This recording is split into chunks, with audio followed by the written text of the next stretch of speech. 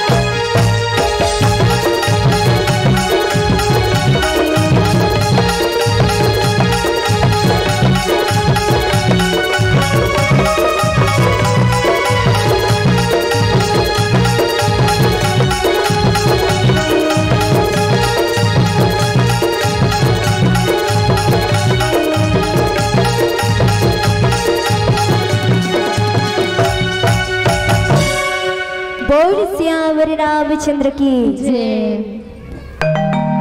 परम पिता परमेश्वर प्रभु की कृपा से यहाँ आए हुए मेरी ममता में मात्र स्वरूपा वात्सल स्वरूप पिता तुल्य और यहाँ मंच के प्रांगण में पुष्प के समान खिले हुए मेरे छोटे छोटे नन्हे मुन्ने भाई बहन और यहाँ सुंदर श्री रामचरित मानस का आयोजन करने वाले आयोजक समिति के समस्त सदस्यगण और यहाँ मंच पर आसीन मानस महाव्योग के आलोक नीरी छीर विवेकी, निर्णायक गुरुजन एवं संचालक महोदय जी और यहाँ ग्राम बिजनापुरी के समस्त ग्रामवासी जन, आप सभी के चरण कमलों में हमारी श्री योग वेदांत बालिका मानस परिवार, पांडे पारा रेलवे कॉलोनी बालोद की हम सभी बच्चियाँ आप सभी के चरण कमलों में सादर नमन करती है, प्रणाम अर्पित करती है। आइए सजनों आज हमें पावन कथा प्रसंग मिला है। श्री रामचरित मानस का तृतीय सोपान अरण्य कांड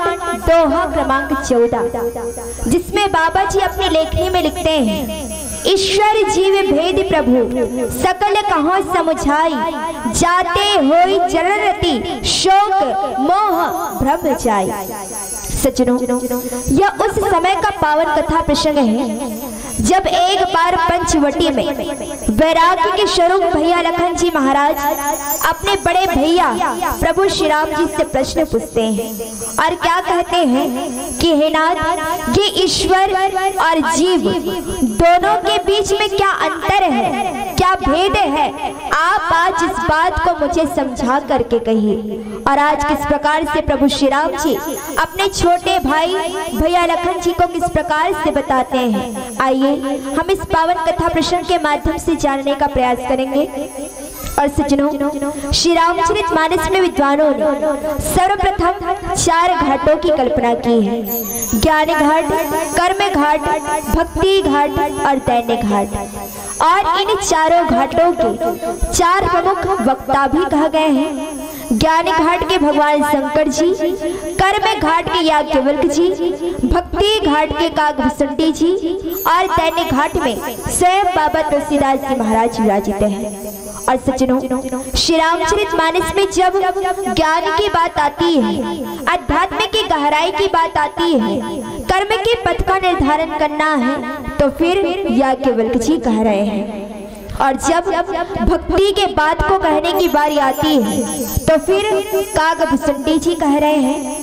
और इस शैली के माध्यम से गोस्वामी बाबा जी महाराज ज्ञान, भक्ति और कर्म के बात को अलग अलग ढंग में प्रस्तुत किए हैं। तो आइए सज्जनों आज हम ज्ञान की बात ज्ञान के पथ पर भक्ति के पथ पर चलकर जानेंगे कि भगवान श्री रामचंद्र जी के जो गुण हैं वह कैसे हैं? क्योंकि राम कौन? तो ज्ञान अखंड एक सीतावर जो सिद्ध ज्ञान के अखंड ज्ञान के साक्षात स्वरूप है।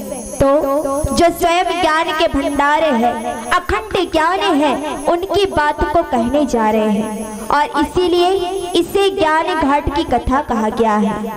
और ये ज्ञान घाट की कथा तो बड़े बड़े ज्ञानी ही कह सकते हैं, वर्णन कर सकते हैं। हम अपने इस छोटी सी मति के अनुसार जहाँ तक हो सके जानकर कहने का प्रयास करेंगे। और अगर कहीं नहीं भी जान पाए तो आप सब हमें अपने ही बच्चे समझकर, अपनी ही बेटियाँ समझ करके हमारी गलतियों को, हमारी भूल चुक को क्षमा कीजिएगा क्षमा कीजिएगा। आइए सजनों इन्हीं भाव के साथ सर्वप्रथम आनंद दाता प्रभु के चरण कमलों में एक पुष्प समर्पित तत्पश्चात पावन कथा प्रसंग को जानने का प्रयास करेंगे। लखन सिया रामचंद्र शंकर वक्रतुंडे महाकाय।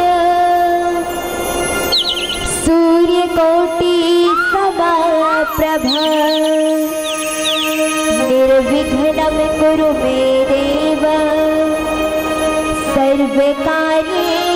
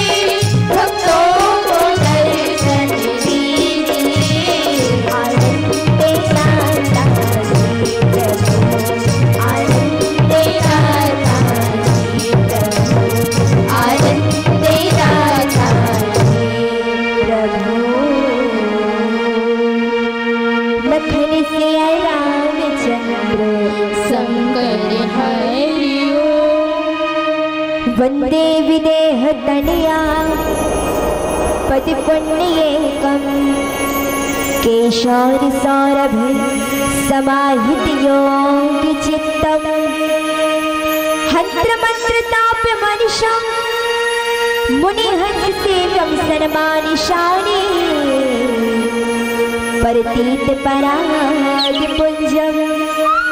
सन्मानिशानि परतीत परादिपुञ्जम् नीलाभुजश्यामलकोमलाङ्गम् सीता समारोह पितवा में भागम। पाणौ महाशायक चारु चापम। नमामि रामं रघुवंशनाथम् अतुलित बलधाम भीम शैलाहुदेहम् दरज्वन् विशालं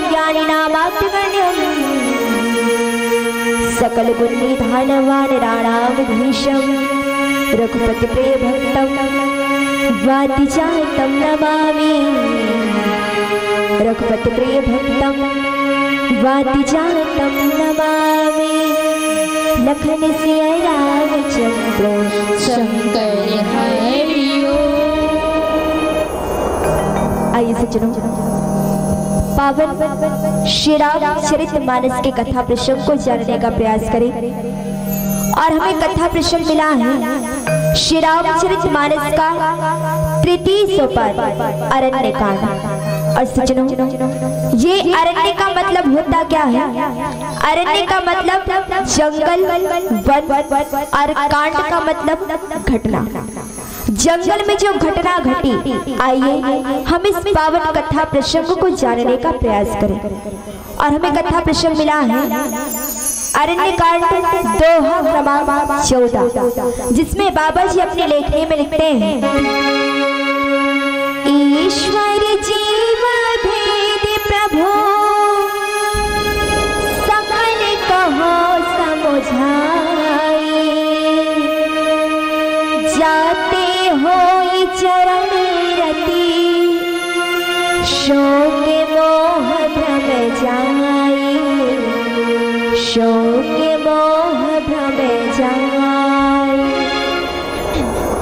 सचनो प्रभु श्री रामचंद्र जी, अपने माता पिता की आज्ञा को श्रद्धार करके, आज्ञा को मान करके चौदह वर्षों के लिए वनवास को निकले हैं। साथ में भैया लखन जी और माता जानकी जी हैं।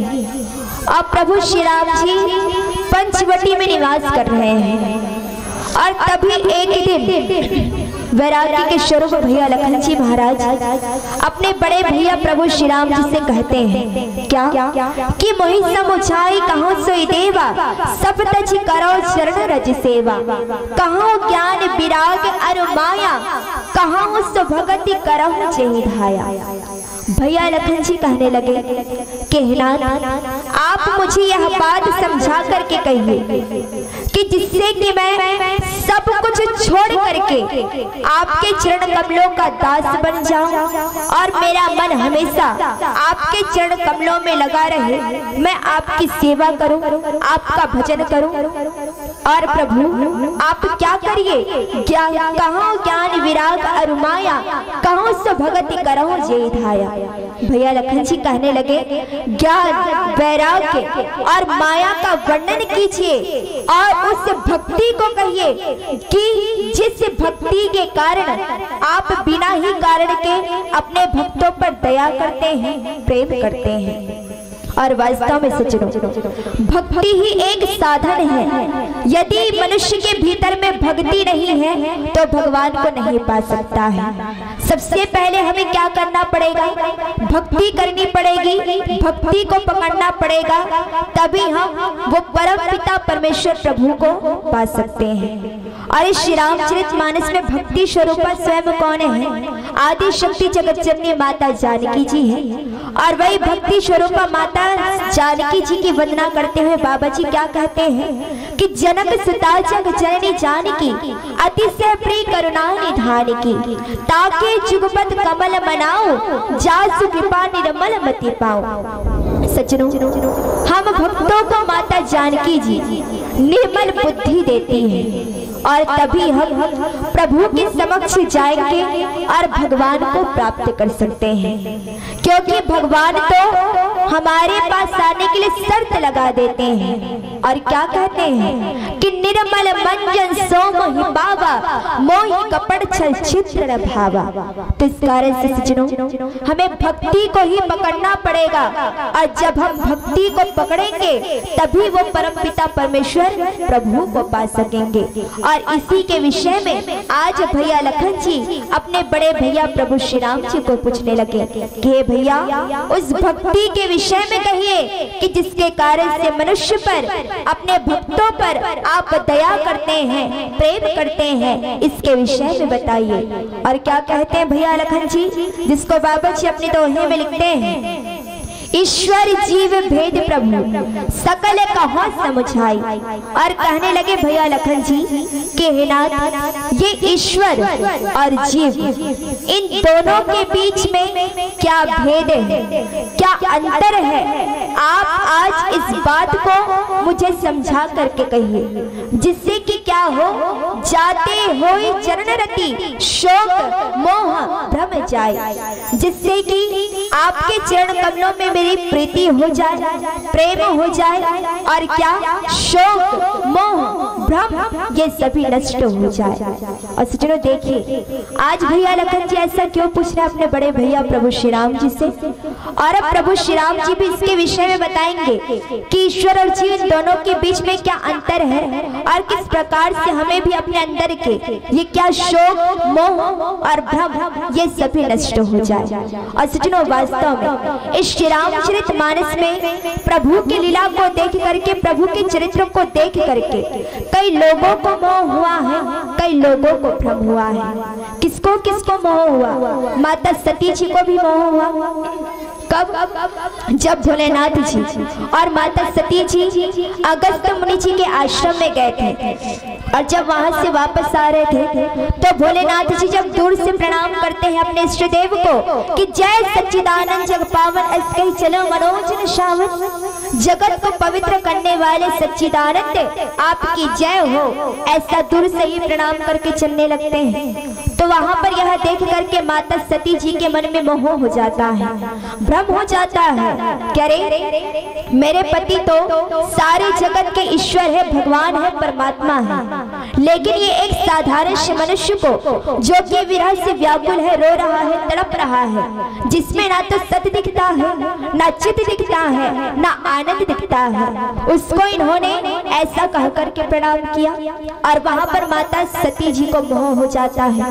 और क्यों होता है सचना, माता सती जी को मोह? माता सती जी भी तो गई थी भोलेनाथ जी के साथ प्रभु की कथा सुनने के लिए। लेकिन माता सती जी ने प्रभु की कथा को नहीं सुना और इसी कारण से उनके मन में मोह हो गया, भ्रम हो गया।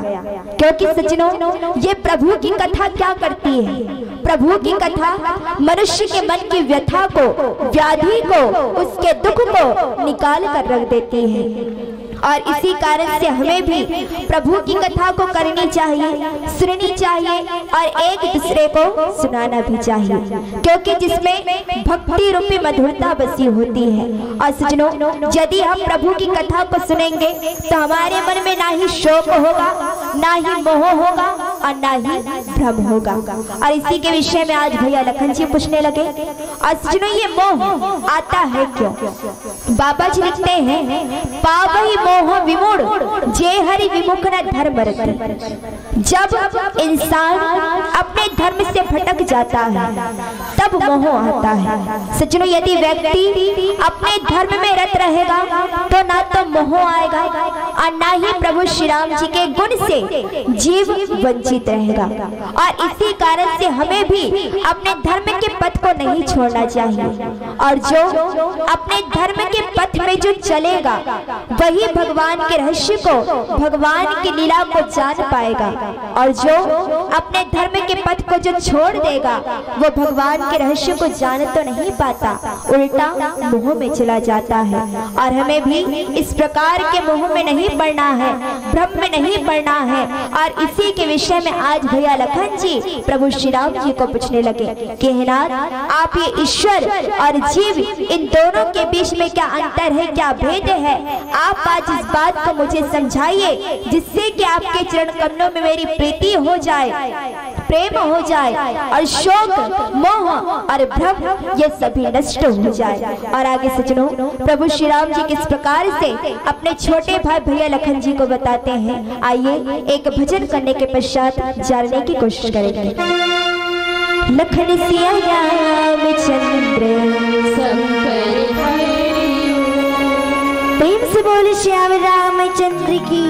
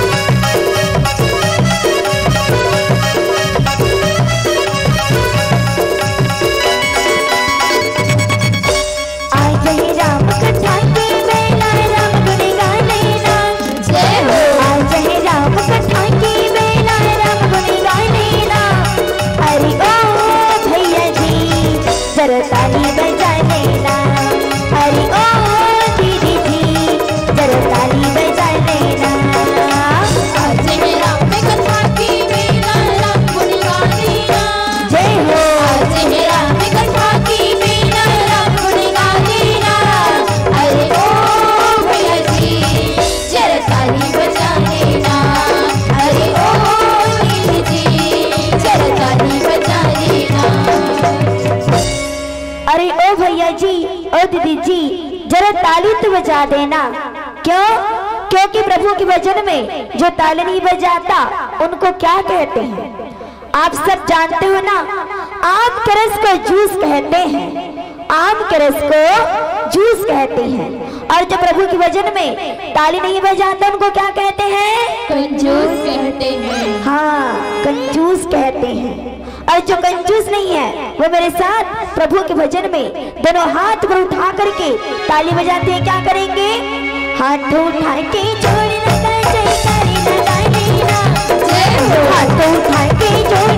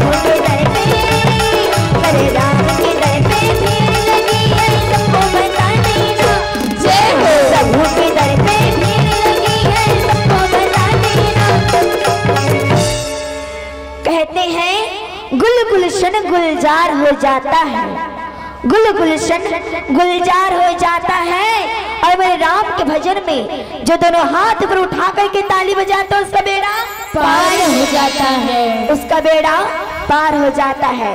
तो जिसको जिसको इस भव सागर से पार होना है, वो मेरे राम के भजन में दोनों हाथ पर उठा करके ताली बजाते क्या करेंगे? हाथ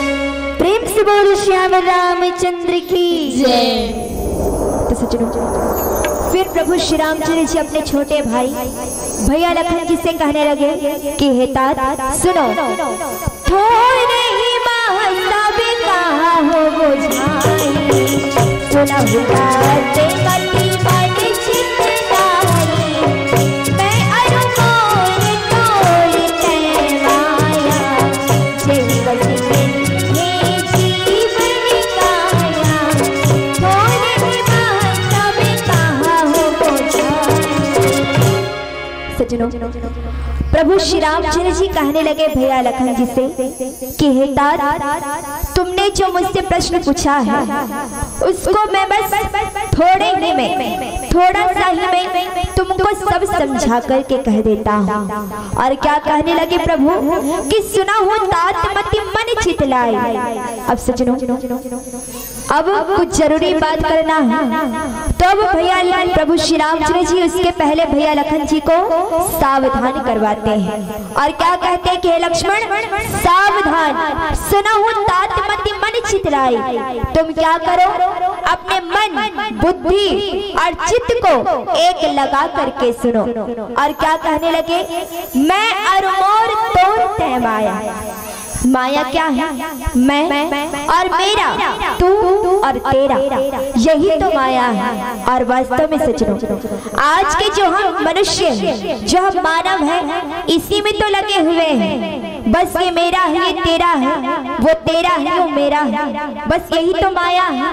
और सचनो हम वैसे तो अभी संसार में रह करके ऐसा कहते हैं, लेकिन जब हम इस संसार से जाएँगे ना, ये सब हमारे साथ कुछ साथ नहीं जाने वाला। जाएगा तो केवल भगवान का नाम ही जाएगा। जो हम इस संसार में रह करके अभी जितना पुण्य करेंगे, जितना भगवान का भजन करेंगे, उसी को लेकर के ही हम इस संसार से जाएँगे। और हमें इस संसार में रह करके ऐसे माया के पीछे नहीं भागना है। सचनो देखिए ये माया भी एक नारी है और ये नारी दो प्रकार की होती है।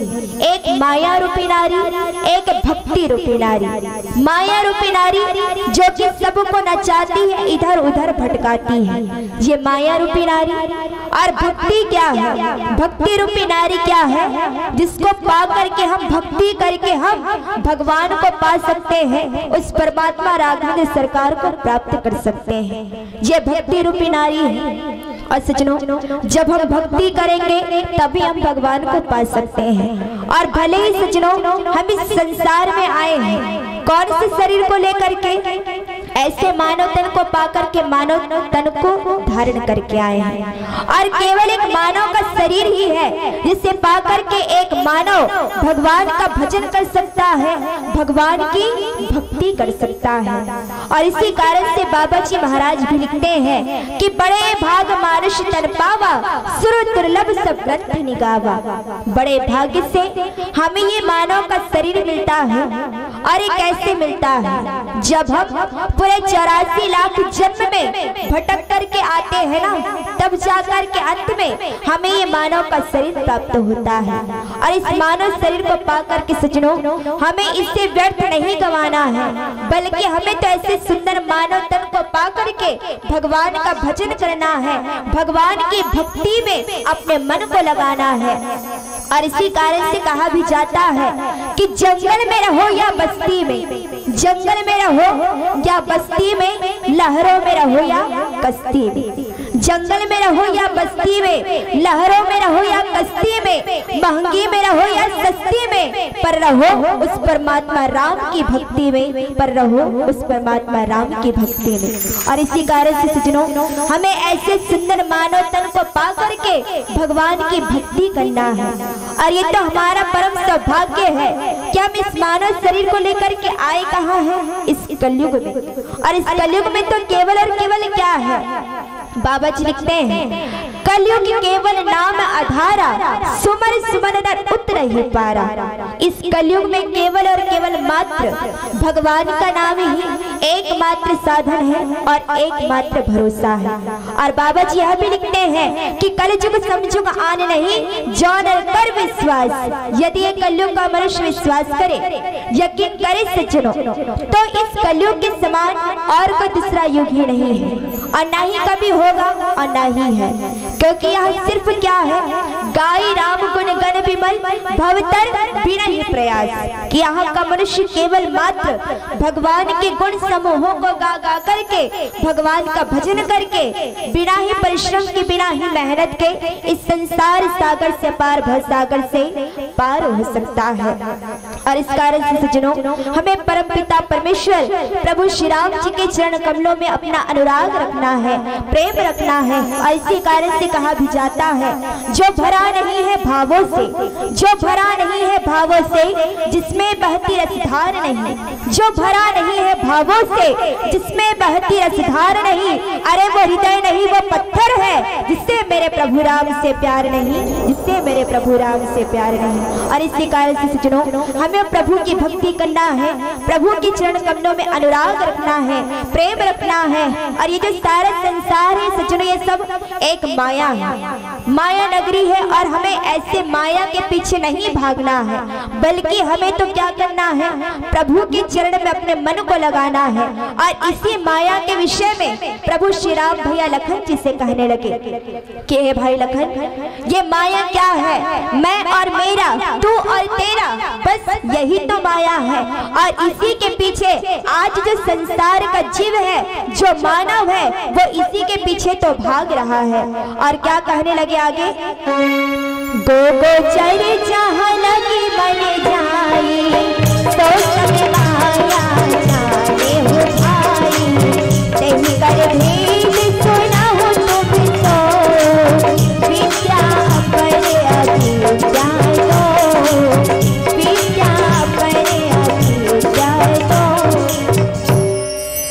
और क्या कहने लगे प्रभु श्री रामचंद्र जी? कि गो गो चर जहाँ लगे मन जाई सोच सब माया जाने हो भाई।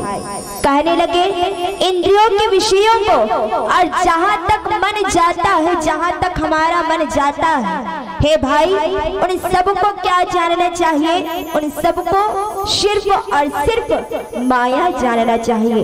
और उसका भी क्या? विद्या अपर अविद्या दो। और उनके भी दो प्रकार है, विद्या और अविद्या। अब ये विद्या और अविद्या, इन दोनों के बीच में क्या भेद है?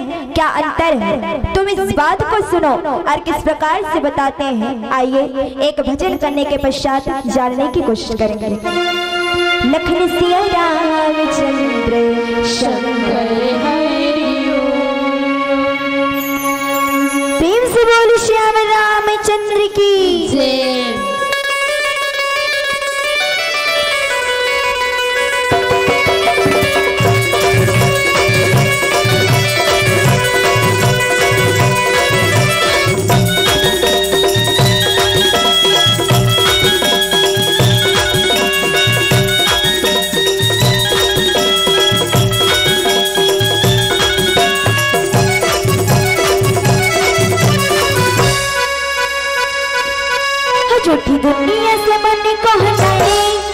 सखी दुनिया से मन को हटा दे ध्यान प्रभु के चरण में लगा दे नसीब तेरा जाग जाएगा। नसीब तेरा जाग जाएगा। नसीब तेरा जाग जाएगा। नसीब तेरा जाग जाएगा। तो झूठी दुनिया से मन को हटा ले तो झूठी दुनिया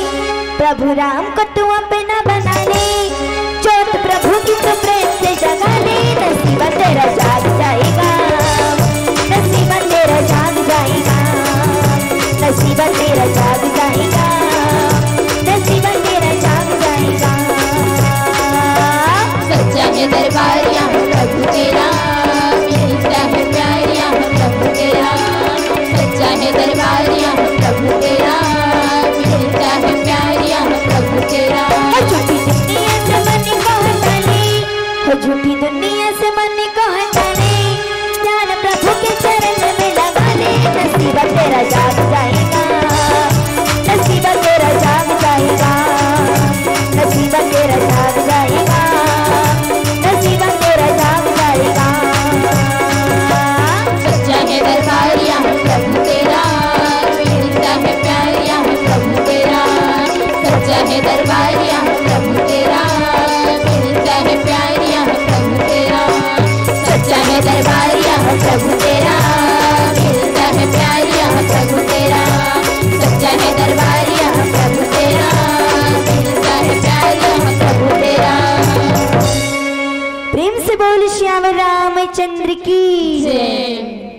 और अब सज्जनों प्रभु श्री रामचंद्र जी कहने लगे, भैया लखन जी से, कि हे तात इसके भी दो प्रकार होते हैं। कौन कौन से?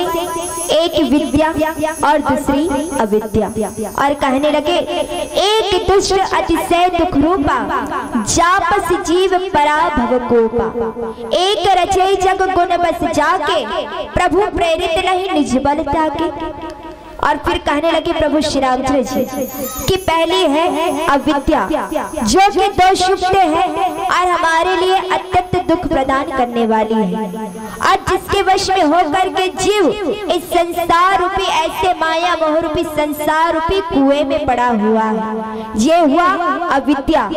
और विद्या जिसके वश में गुण है और जो इस सारे जगत के सारे संसार की रचना करती है, वही प्रभु से प्रेरित होती है और उससे अपना बल कुछ भी नहीं है। और यह है विद्या। और ज्ञान वह है जहाँ जिसमें मान आदि एक भी दोष ना हो और जो सब में समान रूप से, एक समान रूप से ब्रह्म को देखता है। और हे तात उसी को परम वैराग्यवान कहना चाहिए। और जो सारी सिद्धियों को और तीनों गुणों को तिनके के समान त्याग चुका हो, इस प्रकार से आज प्रभु श्री रामचंद्र जी अपने छोटे भाई भैया लखन जी को बताने लगे। और आइए सज्जनों पीली का संकेत और हमारे कथा सार की सीमा यहीं तक सीमित रही। आइए अंतिम भजन की ओर चले, होली गीत की ओर, पर उसके पूर्व आइए हमारी छोटी बहना कुसुम मंडावी से दो शब्द सुनते हैं। बोल श्यावर रामचंद्र की बोल श्यावर रामचंद्र की दाई दादा हो, भाई बहनी हो आप सबको जन के चरण कमल में कुसुम मंडावी मन से घुलन घुलन के पाँव परथों पाँव परथों पाँव परथों गली गली और गाँव गाँव में रामचरित मानस ला पढ़त थावे। नान ना लेकम न घलो। अपन बबल कही थे चल न बाबा, चल न बाबा। रामायण सुने बर जाबो रामायण के सिकरन थे जेला सुन के, गुन के, समझ के।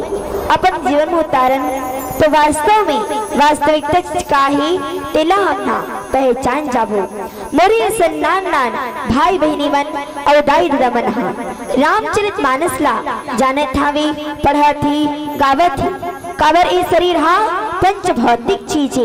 ये शरीर हा इस शरीर में पाँच चीज़ मिले हवे। इला कहे गए ना, छिद जन पाप गगन समीरा पंच रचित अधम शरीरा। ए शरीर कौन जनी? पानी के फुटका के समानी। एको दिन फुट जही टोड़गो हो जही तेरे जीव है ना निकल जही। एकरे पर रामचरित मानस में ध्यान लगाओ और ध्यान लगा के सुनो गुनो और सुन के गुन के सबले ज़्यादा अपन जीवन में उतारन अपन जीवन में उतारन प्रेम से बोल श्याम रामचंद्र की आइए सजनों अंतिम भजन होली के तत्पश्चात आप सभी से विदाई। और मन तुलसी का दास है। मन तुलसी का दास है। वृंदावन हो धाम। मन तुलसी का दास है। वृंदावन हो धाम। सांस सांस में राधा बसे। रोम रोम में श्याम। रोम रोम में श्याम। बोल वृंदावन बिहारी लाल की। बोल कृष्ण कन्हैया लाल की। मुख मुरली बजाई। मुख मुरली